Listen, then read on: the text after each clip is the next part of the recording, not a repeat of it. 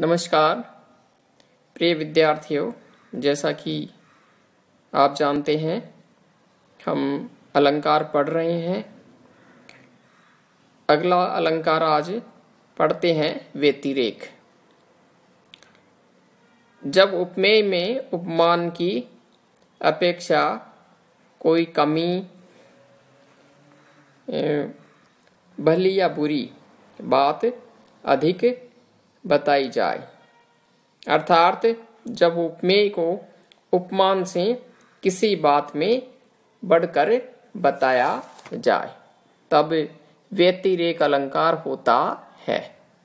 व्यतिरेक अलंकार का उदाहरण है, साधु ऊँचे शैल सम, किंतु प्रकृति सुकुमार।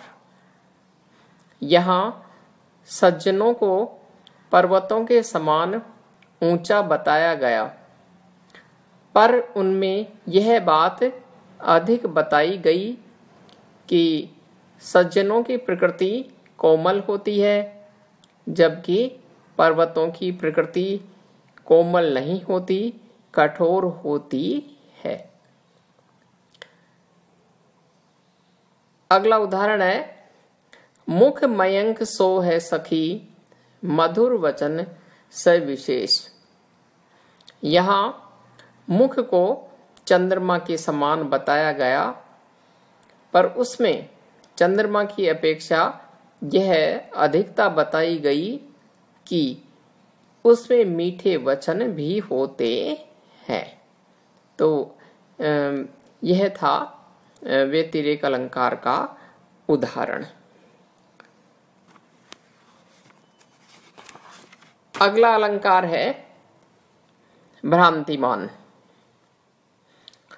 जब सादृश्य के कारण उपमेय में उपमान का भ्रम हो, अर्थात जब उपमेय को भूल से उपमान समझ लिया जाए, तब भ्रांतिमान अलंकार होता है। अब हम भ्रांतिमान अलंकार का उदाहरण देखते हैं। जानी शाम को श्याम घन नाच उठे वन मोर। यह भ्रांतिमान अलंकार का उदाहरण है।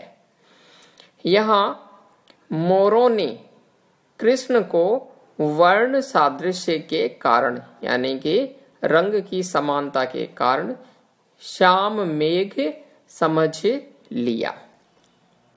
अर्थात कृष्ण उपमेय में श्यामल वर्ण होने के कारण मयूरों को, अर्थात मोरों को, श्यामल काले रंग के मेघों का भ्रम हो गया। अगला उदाहरण है, ओस बिंदु चुग रही हंसिनी मोती उनको जान। यहाँ हंसिनी को ओस बिंदुओं में मोतियों की भ्रांति हो गई। अगला उदाहरण है, बेसर मोती दूती झलक, परी अधर पर आनी, पट पहुँचती चूनो समझ, नारी निपट अजानी। यहाँ नायिका अधरों पर पड़ी मोतियों की उज्जवल झलक को पान का चूना समझ लेती है और उसे पट से, अर्थात वस्त्र से बार बार पहुँचने का प्रयत्न करती है। तो यहाँ यह हुआ भ्रांतिमान अलंकार। तो ये थे भ्रांतिमान अलंकार के उदाहरण और परिभाषा। अगला अलंकार देखते हैं, संदेह। संदेह अलंकार की परिभाषा है, जब सादृश्य के कारण, अर्थात समानता के कारण। एक वस्तु में अनेक अन्य वस्तु के होने की संभावना दिखाई पड़े। और निश्चय न हो पाए। तब संदेह अलंकार माना जाता है। अब देखते हैं संदेह अलंकार का उदाहरण। उदाहरण है, हरिमुख यह आली, कींधो, कैंधो, उयो, मयंक। यह उदाहरण है। हे सखी, यह हरि का मुख है या चंद्रमा उगा है। यहाँ हरि के मुख को देखकर सखी को निश्चय नहीं होता कि यह हरि का मुख है या चंद्रमा है। हरि के मुख में हरिमुख और चंद्रमा दोनों के होने की संभावना दिखाई पड़ती यहाँ की किंधो या अथवा आदि। अथवा वाचक शब्द या शब्दों के प्रयोग से संदेह अलंकार को पहचानने में सुविधा होती है।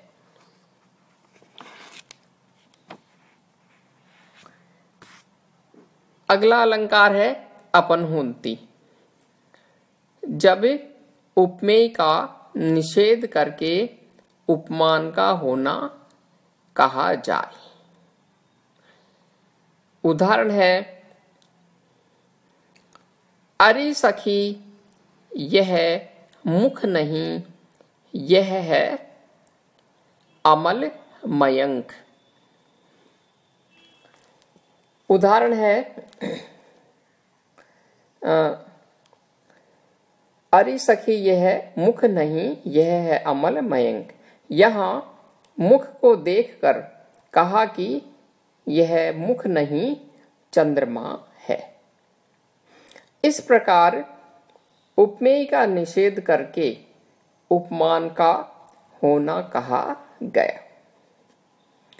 अन्य उदाहरण है। अंग अंग जारत अरी तीखन ज्वाला जाल सिंधु उठी बड़वागनी, यह नहीं इंदु भावे भाल। चंद्र को देखकर कहा गया है कि यह चंद्र नहीं, बड़वागनी है।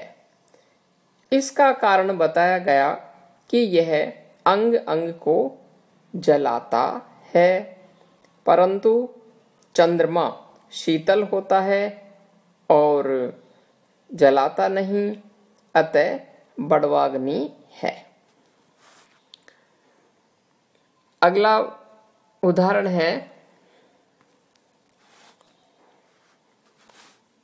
आज देख घनश्याम छटा को मन में मग्न हुई। मिले कहा सखी शाम मेघ की मैंने बात कही। गोपी कृष्ण मिलन की बात कर रही थी।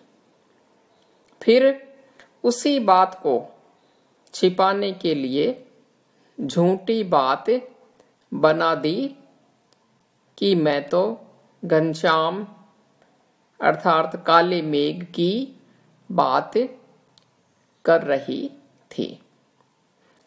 यहाँ उपमेय कृष्ण का निषेध करके उपमान मेघ का होना कहा गया है। तो यह थे उदाहरण और परिभाषाएँ। तो आज हमने इन अलंकारों की परिभाषाएँ पढ़ी, इनके उदाहरण पढ़े और अगले वीडियो में हम जो शेष अलंकार है, उन अलंकारों की परिभाषाएँ हैं, उदाहरण है, उनका विवेचन है, पढ़ेंगे। धन्यवाद।